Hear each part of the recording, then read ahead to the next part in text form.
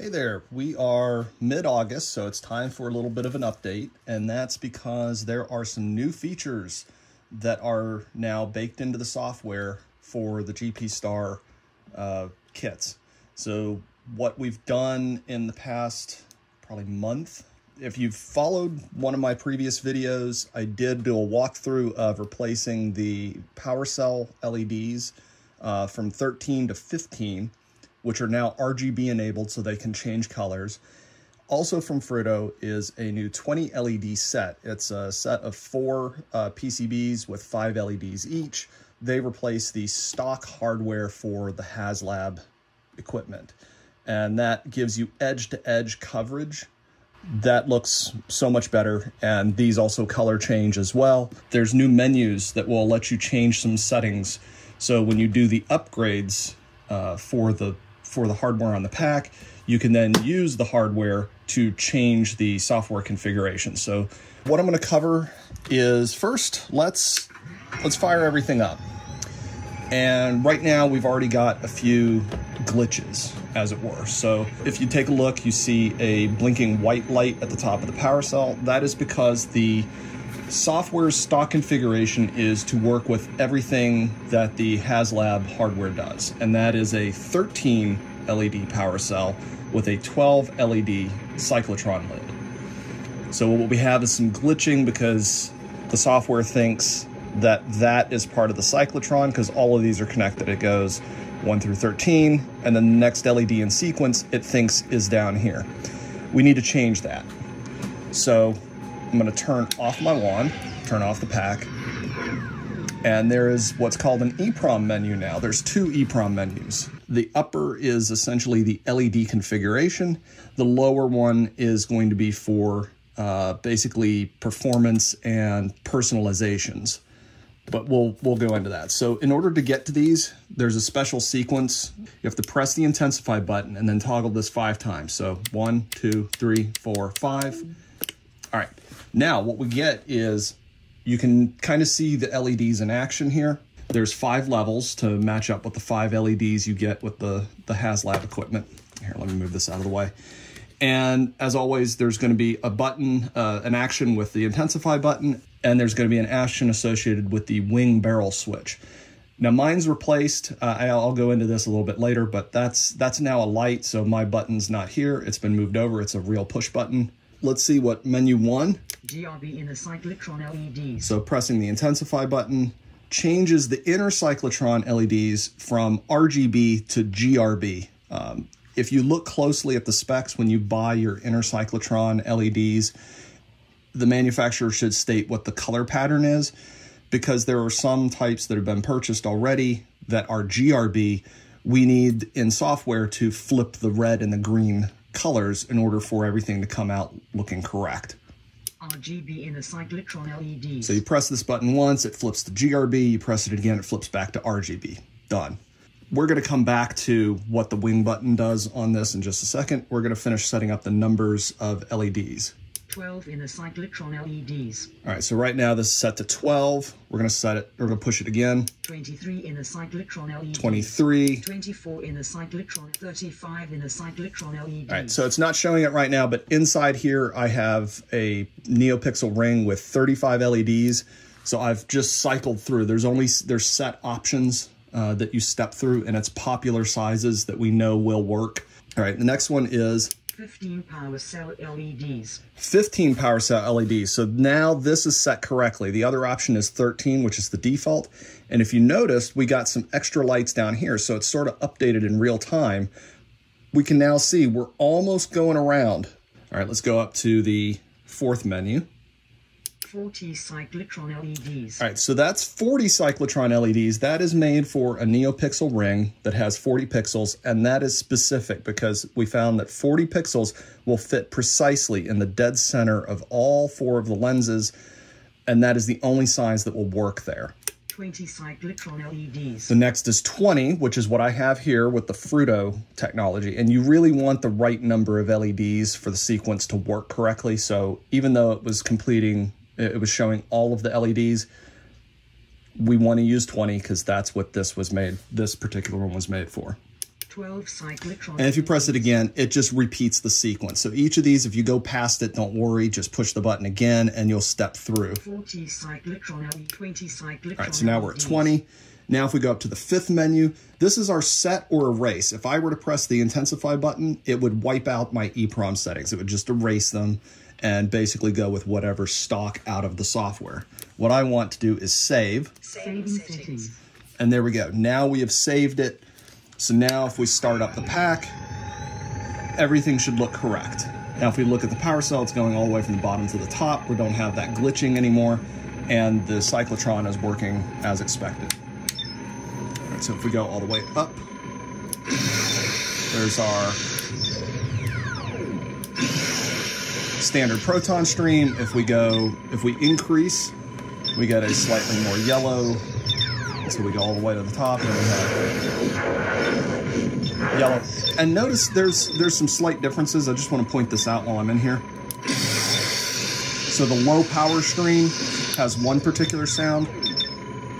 When you start turning up the volume, the hum changes in the wand itself. And you also get the more powerful blast uh, on the proton stream. And it speeds up that flicker on the uh, wand tip. So let's, I know I'm jumping around here. There's a lot to cover.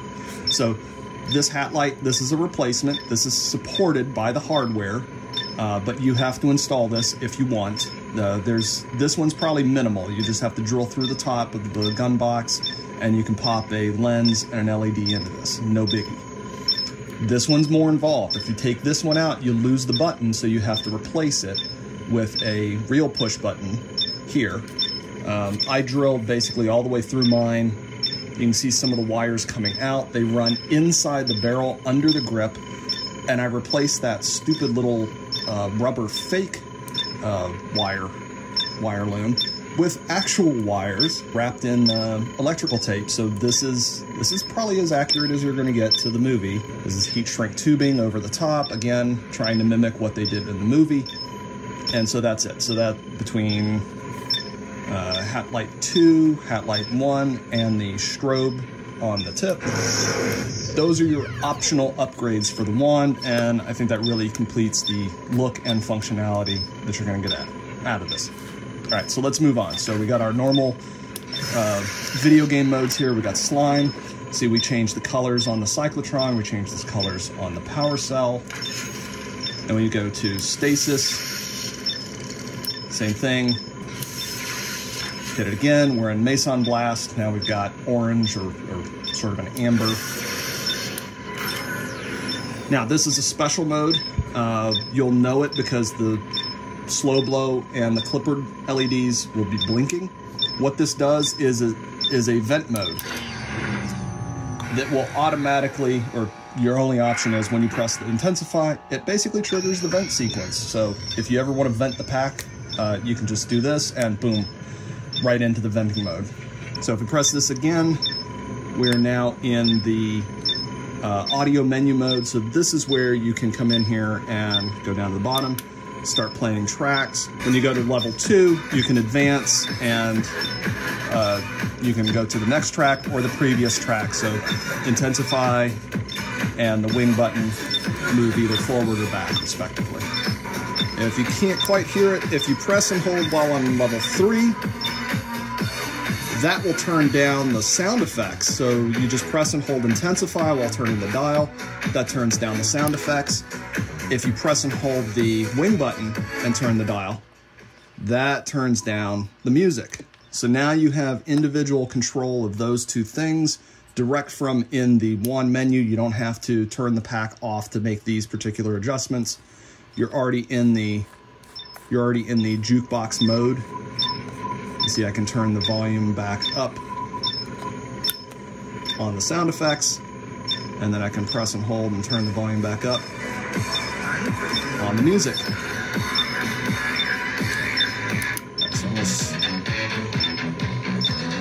Okay, I'm gonna turn that off. and then, so that's the volume mode. So at level four, the wing button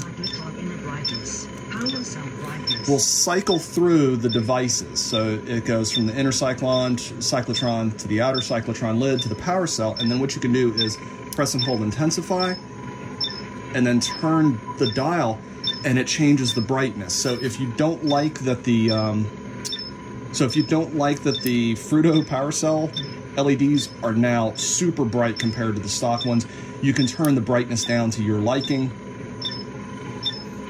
or bring it all the way up.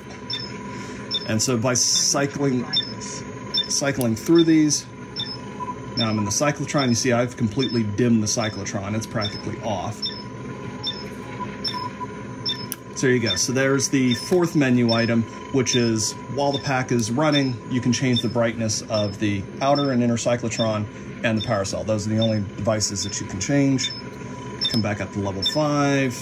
Press button, and we're back into Proton Stream. All right, so that is the walkthrough on setting up the LED counts for your devices and walking through the video game modes. So now, while we are powered down, we can get into an additional menu. So the first time you press the wing button, you get into the standard audio menu, which we just went through. So the exact same options are here. If you keep turning, you go down into a sub menu, and you'll know that because the slow blow lights up. Now you have options like Cross the streams. cross the stream. So when you turn that on, it turns off the video game modes. So you can't do the color changing uh, modes. Your only option is throw a proton stream or throw a proton stream and then kick it into the uh, cross the streams effect. Uh, if we keep going down through the menu, these are options like Smoke disabled. enable and disable smoke, enabled. Overheating disabled. overheating Overheating enabled. enabled and disabled. And keep going down. Cyclotron counterclockwise. So that changes the counterclockwise or clockwise clockwise. direction on the cyclotron. Cyclotron 3 LEDs. The three LED mode versus one one LED, LED. that's that's sort of a personal preference. Um, if you're if you've swapped out to the newer hardware, you're probably going to want to stay on the default, which is just one LED, and it's going to light that LED that's perfectly in the center of each lens. Proton pack vibration disabled. Okay, so vibration has three ways that it can be. It can be disabled, Proton pack vibration enabled. enabled, which means it's always on, Proton pack vibration firing enabled. and then firing uh, basically on enabled only for firing. Neutrona wand vibration disabled. And same for the Neutrona one. If you have the vibration motor still in there, I don't. Neutrona wand neutrona wand vibration firing enabled. Neutrona wand vibration disabled. And that steps through the same. It, it, you either disable it, you enable it uh, for all the time plus firing, or only while firing. All right, and then we come down here. The last option is our modes. Press it once, you go into 1984. Press it again, you go into 89. Afterlife. and then back to afterlife. So it just cycles through those modes. So let's show real quick what does this look like in 1984 mode? And we'll power up. And there we go. So that's what the this is the Frutto uh, leds so here's the 1984 mode. Now you may notice while we're firing every once in a while you hear an extra bit of crunchiness in the audio. Those are the Proton Stream effects. We're going to go into the other EEPROM menu and I'm going to show you some features uh, that you can turn on and off. Uh, one of those being the extra impact sounds uh, that you would get. So those uh, cross the streams. So basically you can press and hold the intensify and then press the wand wing or press that then the intensify button, and then the uh, the mix mode uh, is a, just slightly different, but for the most part, uh, it's those two buttons. So we no longer have we no longer have control over a menu here. That's the only downside, is because this doubles as our uh, secondary fire button. We take away the menu options uh, and cross the streams mode. You can see this is uh, pretty responsive.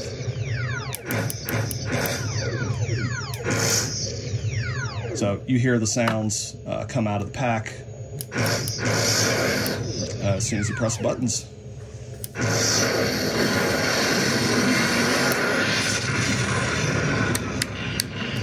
All right, let's get out of the cross the stream smokes and let's Cross also go back to, oops. Video game mode. All right, so video game modes. 1989. 89. Let's go back to Afterlife. There's something I want to show real quick here. All right, so I forgot to show this. This is another update that was done uh, in the recent changes. So let's let the cyclotron get up to speed so it does this ramp up. And we're, we're, we're at full power. Press and hold, watch the speed. The LEDs actually go faster the longer you hold down the trigger and are firing. And then when you let off the trigger, the pack responds and kind of goes back down to the normal uh, spin speed. Let's show that again. I'm gonna go down a level.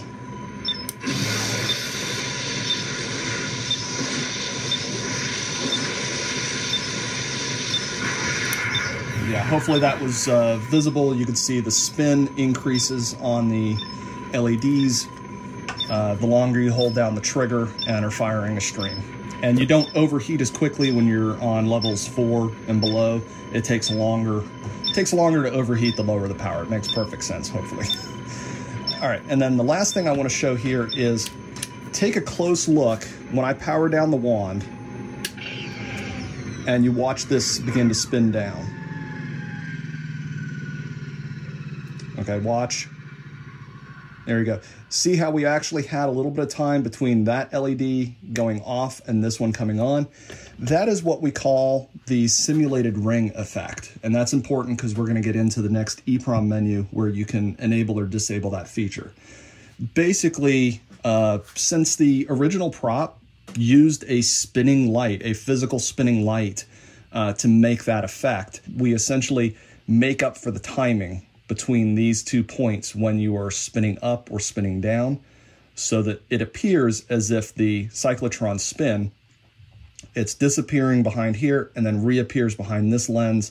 So as it slows down it takes longer to get to the next ring and vice versa when it starts spinning up.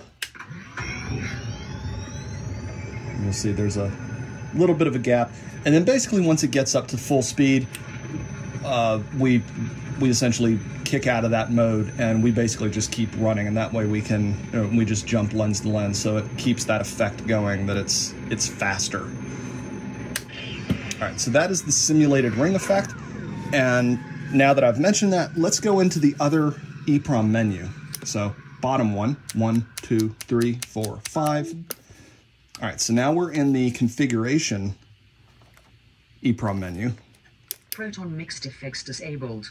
Okay, so if we press intensify, that's proton mixed effects. Basically, what that means is the impact sounds that you hear uh, at random intervals, that is either turned on or turned off. Proton mixed effects enabled. Okay, so if I turn it back on, then what will happen is every few seconds while you're throwing a stream, you'll hear some sparks and other impact sounds to make it sound like the, the stream is actually hitting something. So if you don't like that, you turn it off. This button Extra neutrona one sounds enabled. extra neutrona wand sounds this is disabled by feet uh, disabled by default. What that does is it causes some of the gun ramp up sounds and other effects to come through the pack. For the most part the sounds that come from the wand are supposed to come from the wand and vice versa. Uh, so to keep those separate that that's the default out of the box if you want to have the gun ramp up sound and some of the extra beeps and everything come out of the pack, you just press this button and you enable that feature. Extra neutrona one sounds disabled. My preference is to have it disabled, but that's again, that's my preference. This is uh, this allows you to select what you want out of your pack. Cyclotron counterclockwise. All right. Now this lets us set the counterclockwise or clockwise default. So basically every time you power down at the battery and then power back up, it'll always pick up the default whether you want uh, clockwise or Cyclotron counterclockwise. clockwise. Cyclotron simulate ring disabled. All right, so I just pressed the wing button while on that level two. That disables the cyclotron ring effect. So that that basically means that this when you ramp up or ramp down, it's going to jump. The LED is going to jump from one lens to the next immediately. It's going to it's going to ignore that effect where it looks like it's actually spinning. And that's primarily for, well, really, that's only for afterlife mode since 84 and 89 just do the sequential lighting of each one, so it has no effect there. Cyclotron simulatoring enabled. Okay, so I'm gonna enable that for me. I like that effect. Overheating disabled. All right, overheating. Overheating enabled. Smoke disabled. Smoke enabled. So these options lets you affect either overheating enabled or disabled and then smoke uh, enabled or disabled. So you can set that as your preference. Now level four. Cross the streams. So this lets you set cross the streams as the default or Cross the streams mix. cross the streams mix Video game modes. or video game mode. So if you are a purist and you just want, you know, just the movie sounds and you want to be able to do cross the streams, then you can set this as a pre- preference in the EEPROM. And so every time you boot up, you'll automatically be in cross the streams mode. Uh, I'm going to prefer the video game modes for this next reason. Spectral modes enabled. So this is a new feature uh, that was just added called spectral modes. What this does is it is only going to work if you have the RGB LEDs for the cyclotron and RGB power cell lights. If you have the stock HasLab equipment, you're going to see no effect and no benefit from this. And that is because this mode does all kinds of funky colors, and I'm going to show you exactly what that does. I'm going to go up to level 5, same as before. I'm going to press this button to uh, set and save. If I were to press this button down here, it would just erase and, and exit. So I'm going to Saving settings. save and exit. So now I'm out of the EEPROM menu. So let's show what spectral modes does. All right, so boot up. Everything's pretty much looking like normal. Got our proton stream. We're gonna change to slime mode. There we go, slime mode. Stasis mode. Meson blast. Now here we go into spectral modes. I'm gonna turn off this light and make it a little more pronounced. So basically what this does is when you are in this, uh, this is the first of three spectral modes. There's uh, what we call uh, rainbow mode, there's a holiday mode, and then there's a custom mode. So the rainbow mode basically does exactly that. It's just a fun little, I call it party mode as well. Uh, it just turns this thing into a color changing wonder. And it is, it's it affects the inner cyclotron. So basically it steps through every color on the uh, spectrum. And uh, same with the power cell because there's only 15 LEDs up there. It sort of does this nice little ombre uh, between colors. So every time it starts anew, it sort of starts with the last color and then proceeds to the next the next shades. All right, so that's the spectral rainbow mode. Now, if you select the next one, this one had to do this. Um, so it does this kind of like candy cane effect uh, when it's pumping out the uh, proton stream. It basically goes from red to green and just flip flops between the two colors. And you can kind of see it on the on the uh, rings here. It basically alternates red and green. Same with the power cell. If you look carefully, it essentially does this sort of little uh, candy stripe uh, look there.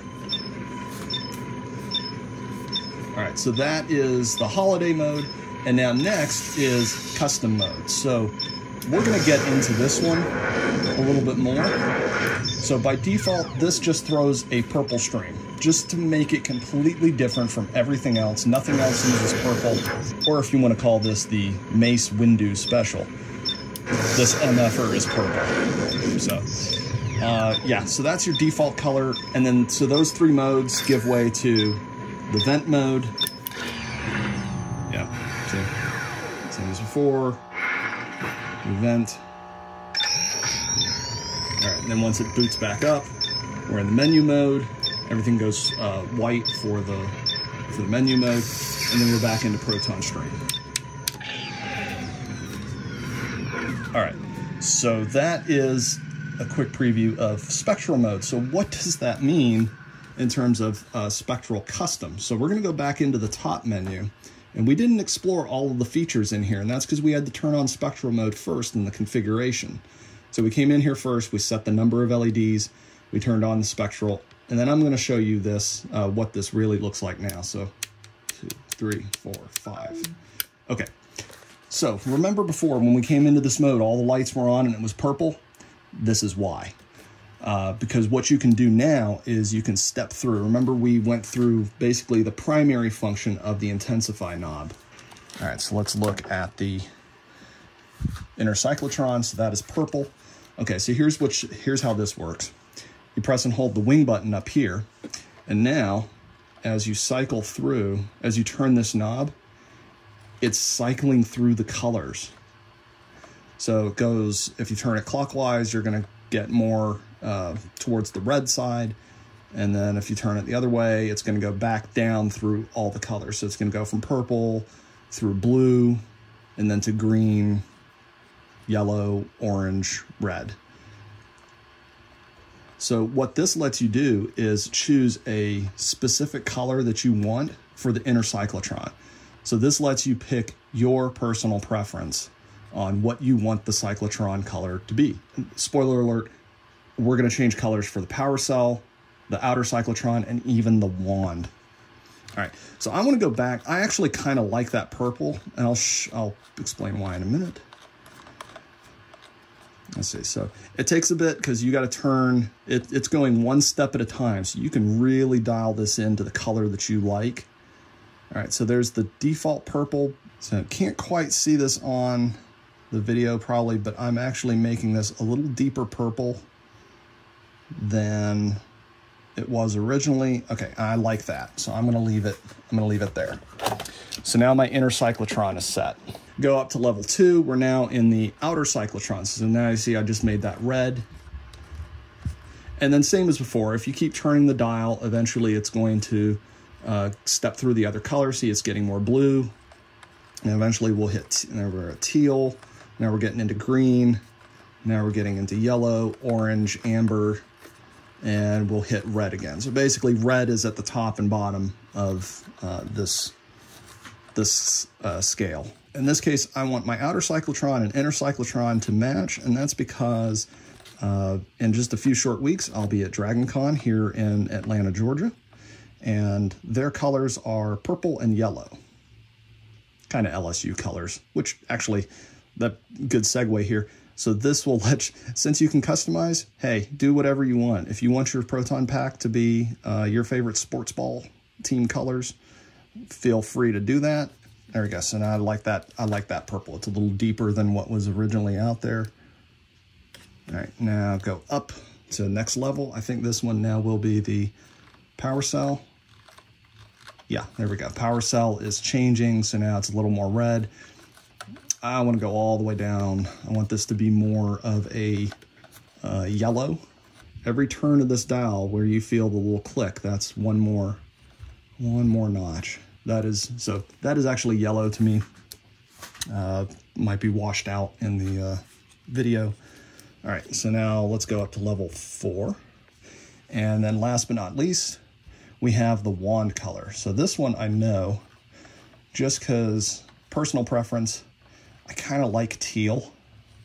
So I'm going to go down to blue and sort of figure out, all right, I'm starting to get into green here. There we go. I think that is about right. That's the, let's see if I can really, there we go. There we go. We dropped the brightness on the uh, exposure on this. All right, so I've got the teal color that I want. And that's it. So now with those set, I just go up to the fifth level menu. Saving settings. Saved. All right. So now for the fun part. And that's power everything back up. And you step through the menu.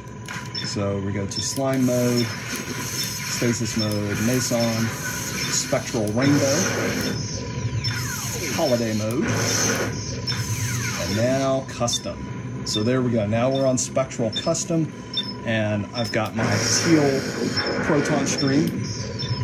I've got my purple cyclotron, which should be the purple for the inner and outer as I set them, and the color for my power cell is yellow. And that's and then everything else is just going to work exactly the same.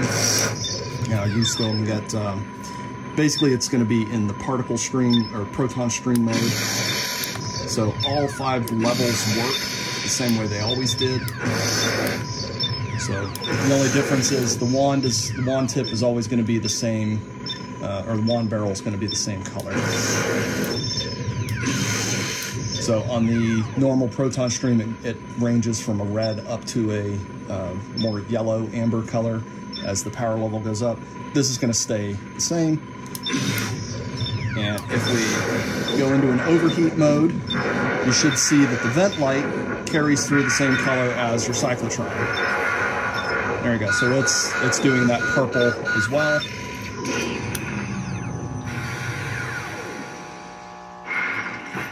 There we go, final push, and that's it. So, there we go.